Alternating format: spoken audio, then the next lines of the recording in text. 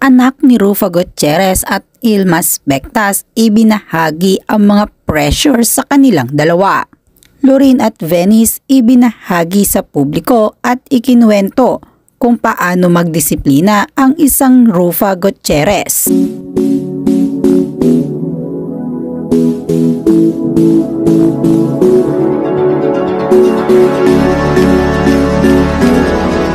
Hello mga kachika! Narito na ang inyong update at chika mula sa La Chika. Ang video na ito ay base mismo sa mga naging interview ni Lorin at Venice.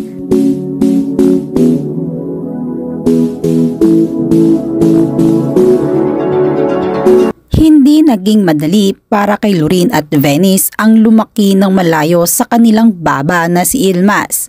Katulad ng ibang pamilya at kabataan ay naramdaman rin nila ang mga pagkukulang sa kanilang pagkatao.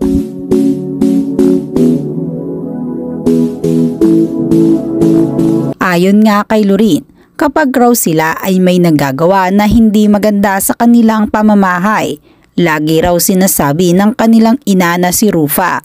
Anya, lagi sinasabi ni mami na, stand in the corner and face the wall for one hour pero after 10 minutes ay lumalambot na rin naman raw ang kanilang mami.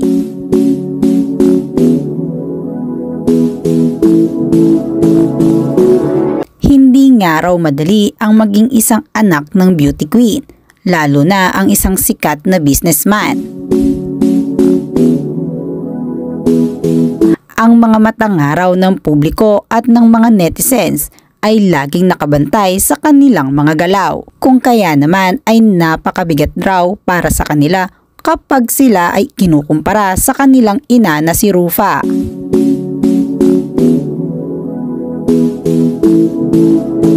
Ngunit sa kabila raw ng pressure na pagiging anak ng isang beauty queen ay nagpapasalamat itong si Lorin at Venice kapag mayroong mga napapansin na kamukha nila ang kanilang mami.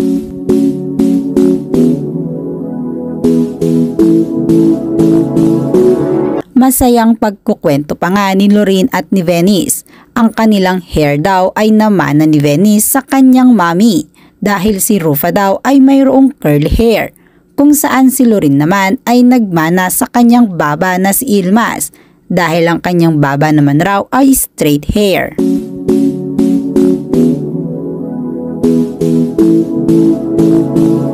Naitanong naman kay Lorin, yung pagiging mahiyain naman raw ba ay kanino nila namana? Ayon kay Venice, ang pagiging mahiyain raw nila ng kanyang ate na si Lorin ay namana at nakuha nila sa kanilang baba na si Ilmas.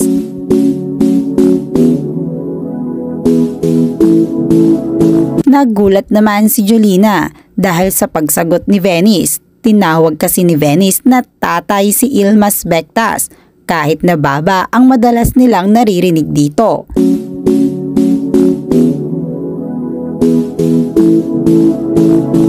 Para raw kay Lorin, masaya naman daw siya kapag may nakikitang kamuka sa kanya ang kanyang ina, lalo na ang mga ngiti nito dahil para raw kay Lorin ang kanyang ina ay napakaganda.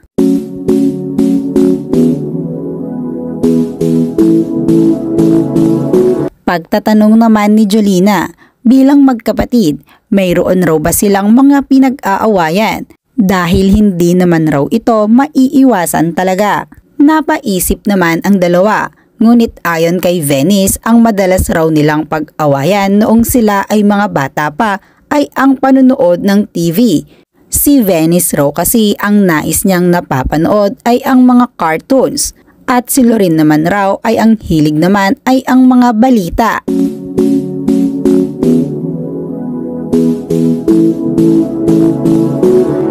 Pagbubulgar pa nga ni Lorin, nag-uunahan nga raw sila ni Venice sa paggising sa umaga at tumatakbo papunta sa telebisyon. Kung sino nga raw ang unang makakuha ng remote sa umaga ay siya na rin ang magdidesisyon kung ano ang panonoorin sa buong araw.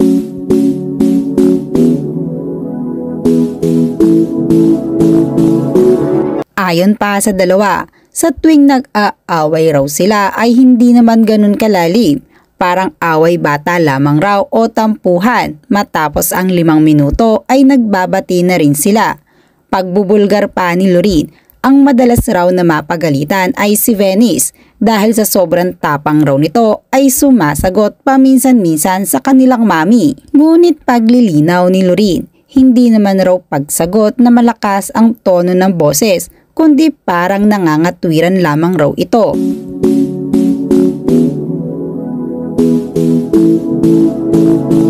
At dahil hindi namana ni Lorin ang masyadong matapang sa kanilang pamilya, lagi na lamang raw umuoo o tumatahimik si Lorin kapag nagagalit ang kanilang mami.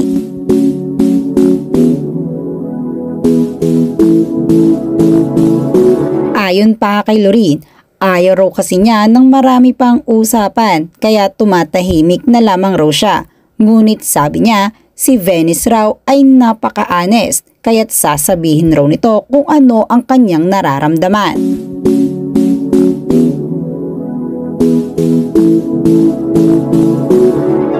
Isa pa nga raw na nakakadagdag ng pressure sa kanilang magkapatid ay kapag natatanong ang pagpasok nila sa showbiz industry Ayon naman kay Rufa, hindi naman raw ito maiiwasan dahil ang buong pamilya Gutierrez ay nasa showbiz.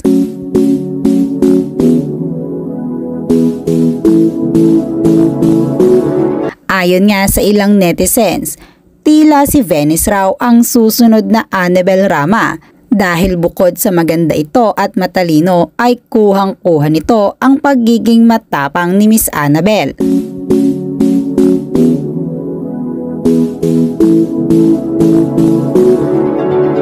Pagbabahagi pa nga ng magkapatid, noong raw sila ay mga bata pa ay talagang mahigpit si Rufa.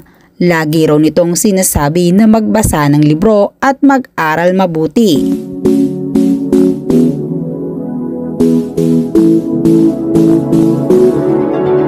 Kahit nga raw pressured si Lorin at Venice sa publiko at mga netizens, si Rufa naman raw ay isang cool mom. Bukod pa rito ay bagets na bagets pa nga raw ang kanilang mami Rufa. Kaya naman para raw kay Venice, kung ano raw ang ikaliligaya ng kanilang mami na si Rufa ay susuportahan nila ito.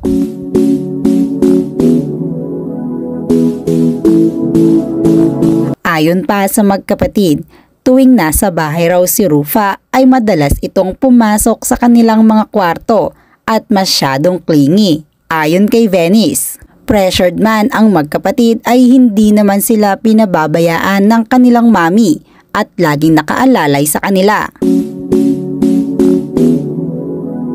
At yan ang chika mula sa La Chika. Huwag kalimutang mag-subscribe at i-like ang video na ito. Ako ang inyong kachika, La Chika!